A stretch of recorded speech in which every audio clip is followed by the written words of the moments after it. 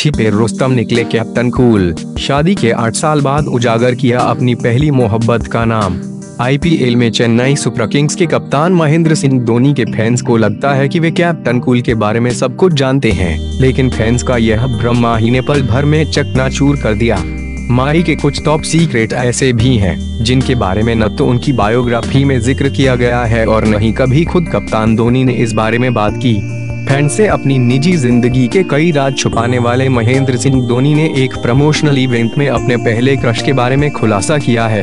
धोनी ने न सिर्फ़ उस लड़की के नाम का ज़िक्र किया, बल्कि उन्हें पहली बार कब प्यार हुआ इसके बारे में भी जानकारी दी। आईपीएल सीज़न 11 में गल्फ ऑयल इंडिया फ्रेंचाइजी की एक बड़ी स्पॉन्सर है, जिसका लोगो टीम की जर्सी पर देखा जा सकता है। मंगलवार को इस कंपनी के एक प्रमोशनल इवेंट के दौरान सीएसके के खिलाड़ियों ने खूब मस्ती की। इसी बीच किसी ने कप्तान धोनी से उनके फ़र्स्ट क्रश के बारे में पूछ लिया। इस पर धोनी पहले तो शर्माए और फिर खुलकर अपने दिल की बात सार्वजनिक मंच पर साझा की। फ़र्स्ट क्रश के सवाल पर धोनी ने बताया कि जब यह बारहवीं क्लास में पढ़ रहे थे तब पहली बार उन्हें एक लड़की पसंद आई थी। धोनी ने अपने फ़र्स्ट क्रश का नाम स्वाति बताया। यह साल 1999 की बात है।